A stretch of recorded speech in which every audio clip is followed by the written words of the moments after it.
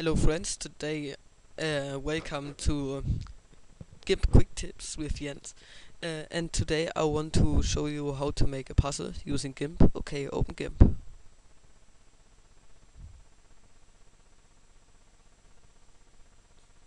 Take any picture you want. And there are two several several ways using a layer or not.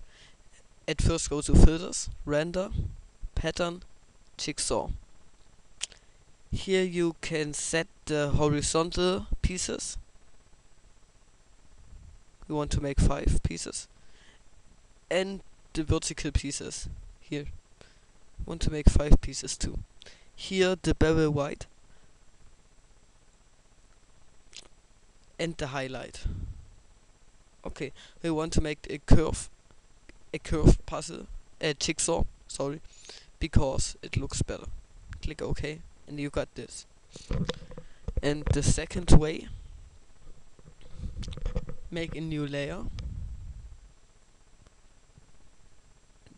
The layer fill type to background color because we have a white, background and click OK.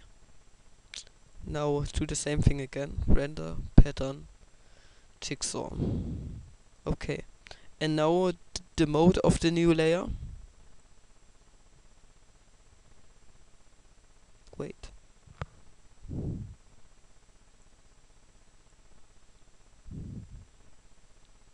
Damn it.